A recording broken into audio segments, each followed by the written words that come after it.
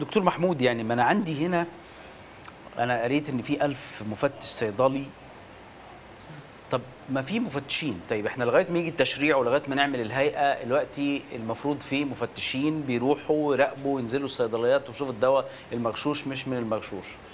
اذا بيعملوا شغلهم ولا إيه المشكلة فين هو المشكلة إن عددهم قليل بالمقارنة بعدد الصيدليات اللي المفروض ينزلوها. وعدد مخازن الادويه اللي المفروض ينزلوها.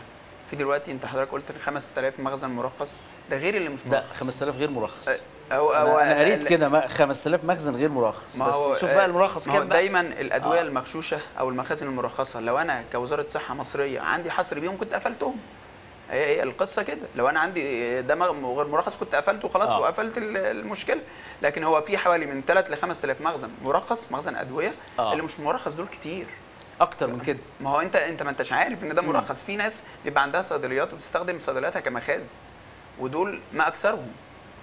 تمام؟ آه. آه و اللي هي بتبيع جملة بت بت مخزن في- صيدلية الصيدلية و- في مخزن ورا وبتبيع بالجملة. آه. آه. آه، ده, ده دي المخازن اللي مش مرخصة. فالمفتش مطالب إنه ينزل ينزل على 60000 صيدلية مرخصة. و3000 مخزن. مرخص. ده غير الحاجات اللي مش مرخصة بقى. غير المصانع اللي في بير السلم والمخازن اللي مش مرخصة و- طب مين اللي قال. إن هم لازم يكونوا 1000 ما نخليهم 10000 ما نخليهم 20 مين صاحب القرار في ده؟ الوزارة.